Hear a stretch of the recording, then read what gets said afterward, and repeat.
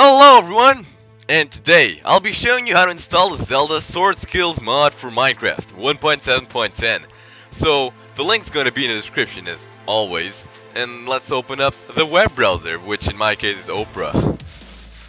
But I do not enjoy Opera in any way.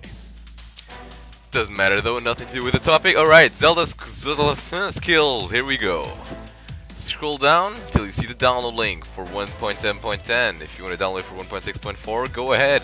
It's right there. Alright, uh, we're gonna click that link right now. Click it. Okay. Wait three seconds. You're gonna wait those three seconds, please.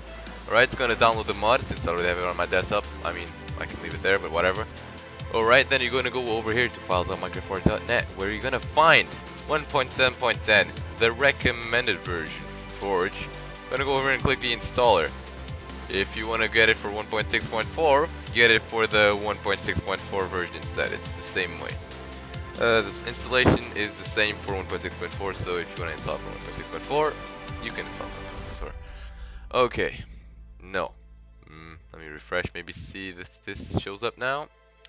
Well, anyhow, you're just gonna click skip ad, and you're gonna download it, and then it's gonna give you a forge file and that I already have on my desktop as well. Okay, so I have already run Minecraft once, and you're gonna have to do that too. Uh, you're gonna have to run Minecraft at least once with the Forge, like with a version 1.7.10 for it to work. So go ahead and do that if you haven't already. And then you're gonna double click the forge.jar and click install client, and then click OK. It's gonna extract the files to your .minecraft folder, which we'll get into later. Okay, into Minecraft, open it up, and uh, well now we're gonna test if Forge works before installing anything. Let's just go ahead and click Forge and click the play button. Now if you don't do this step and you had never used Forge before you will not have something called a mods folder. And that is required for you to have a mods folder so you can put in the mod in there. Without a mods folder you don't got no mod. Get it the capiche? Okay. Right now back back onto this. Just wait for it to load and I'll tell you if it works in a second.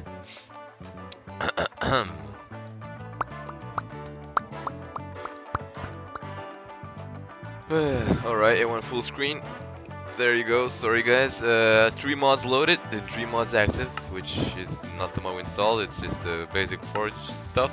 Shit is not sec. Alright, quick game.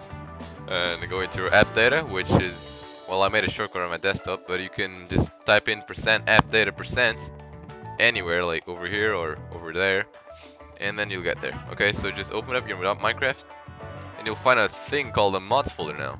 Convenient, right? So this, the 1.7.10 Zelda Sword Skills 2.2.3.jar will go in there. That's pretty simple, right? Can do that with any other mod if you want. You know, it works pretty much the same any like with any other mod and uh, exactly the same way for 1.6.4. And uh, well, let's just go in game and I'll prove you right now that the mod is active and ready to use. Now, I should have told you in the beginning of the video, but um, the Zelda Sword Skills mod or whatever, whatever, uh, it's called. Uh, it's called. um, allows you to have sword skills and it gives you the ability to have Zelda items in Minecraft, alright? That's pretty cool, right? You have like a bombs and like there's a boss in the nether, there's some mobs you can fight, it doesn't stop going full screen for God's sake, alright? Um, and there's a lot of fun stuff you can do just trying it out yourself, you know? I'll go in-game in a sec when I switch over to Fraps, but right now let me show you that mods, here it is. Zelda Sword Skills whatever. Here's the description, here's a picture, it works, alright? Now I'm gonna switch over to my Fraps so I can actually record gameplay without having 25 FPS. Um, so give me a sec, guys. Alright guys, we're in game now, as you can see right here. And, uh, well, these are some shits. You start with the Link's house thing. Requires 7 by 8, okay.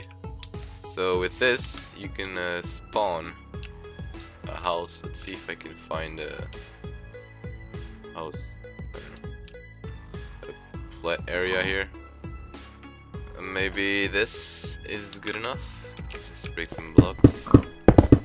Okay. There you go, Link's house. Link's. Link's. Link's. Link's. Link's. Link's. Link's. Whatever. Link's house. There it is. You got a bed and a pressure plate chest. That look like um sword. Alright, this is a technique, a small key. You can use this key to unlock some chests that you find across the map. Now let me show you something real cool here. Which I always loved. It's the the boomerang. Let me get a, a mob from the game. Might as well show you that. Let's get a thunder Keese. All right. Let's, uh, what's this guy? Oh, right, wasn't expecting that, huh? Thunder Wizrobe sounds like a badass mob, right? Let's. Oh yeah, here you go. There you go. It's uh. Thunder. Wizrobe. All right, it's over there. Okay. Fucking kill. Oh, my kills. Oh, Emma. Oh, oh, oh, whoa, whoa, whoa, whoa, whoa, whoa, whoa, mate. Come on now. Ah, goddamn thunder wizrobe. Oh, these are all teleport. All right. Uh, change the plans. Let's spawn a blue Chu. Blue Chu. Not the time. I want go chop. Oh, here. Wait. Oh. Ha. Oh, a blue Chu is down. Oh. Quattro chew. Oh yeah. Ha. Oh. Yeah. Oh, baby, the a triple! Fuck that shoe. oh god. Yeah, well, it's pretty cool. As you can see, uh, the, the world generation are pretty cool, huh? Uh, I can drop all this. Oh yeah, you start with some armor apparently. The cockedy hat and the tunic on the boots and everything you need uh, to survive. There you go. And well, that's pretty much it for this mod. If you have any other questions on how to install any other mod, or if you would like to make a, if you'd like me to make a mod review on any other mod, or anything else at all, just feel free to leave a suggestion in the comments. Always help me out. And uh, well, that's it for now, guys. Thanks for watching. Don't forget to rate, comment, and subscribe. And in terms of rating, you can rate a whatever you want, as long as you leave a comment uh, down below, leaving why you leave, leave that rating, like so I can improve better and you know live a better life, guys. bye bye.